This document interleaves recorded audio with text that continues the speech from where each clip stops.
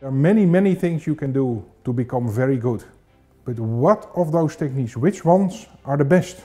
I wanted to find what are the distinguishing factors that makes a high performance organization.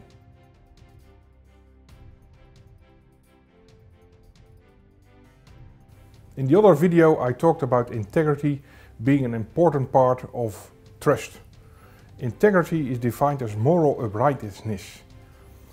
A manager has to show his or her integrity by having a code of ethics and living according to this code of ethics. Now you might have heard the expressions practicing what you preach and walk the talk. What this is all about is behavioral consistency. You have to behave consistent so that employees know what to expect.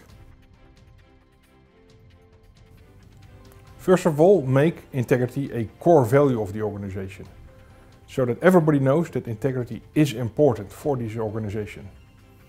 Translate these core values in standards of integrity and then regularly discuss with your managers and with the employees what integrity means and how you need to behave.